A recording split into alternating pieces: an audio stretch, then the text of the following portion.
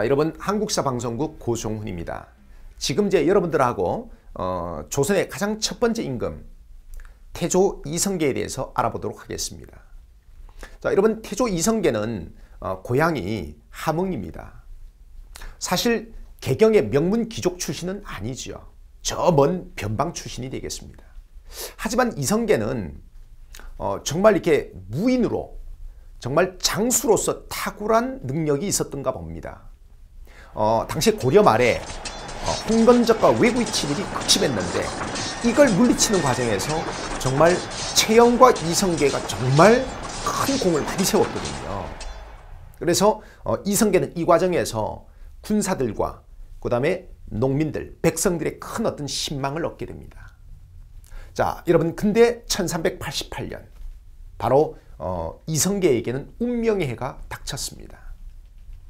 어, 당시 이제 대륙은 중국 대륙은 커다란 정세 변화가 있었습니다.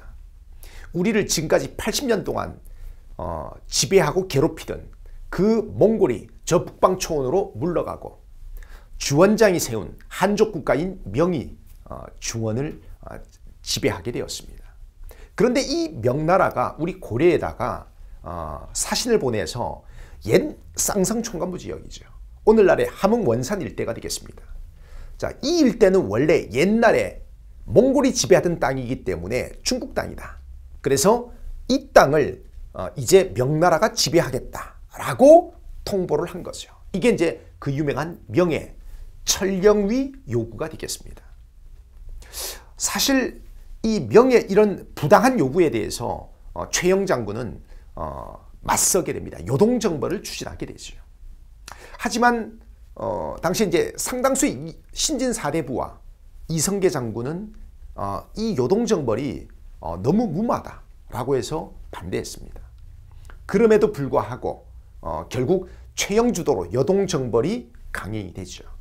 그래서 어, 4만 3천 명의 요동정벌군이 결국 어, 출정을 하게 되는데 실제로 군대를 이끌고 한 사람은 좌군도 통사 조민수와 흥군도 통사 이성계가 되겠습니다. 자, 여러분 1388년 5월이죠. 이 압록강 하구의 여기 위화도 이 위화도에서 이성계는 어, 회군을 하게 됩니다. 여러분 왕조국가에서 임금의 명의 없이 군대를 어, 되돌린다는 것은 사실상 반역행위입니다. 이성계로서는 굉장히 큰 어떤 고뇌에 찬 결단이었겠죠. 자, 이 위화도 해군으로 결국 이성계 일파는 정치군사적 실권을 장악하게 됩니다. 우왕을 축출하고 그 다음에 최영 장군을 죽이고 결국 이성계 일파가 권력을 잡게 되죠. 자, 여러분 어, 그 뒤에 이제 이성계는 정도전 같은 이런 신진 사대부들의 도움을 받아서 고려 말에 어, 최고의 어떤 나라를 갉아먹는 모순 바로 어, 토지 제도를 대대적으로 어, 개혁하게 됩니다.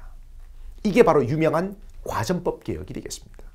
이 과전법 개혁으로 어, 신진 사대부들의 지지, 그 다음에 농민들의 어떤 백성들의 어떤 지지를 이끌어내게 됩니다.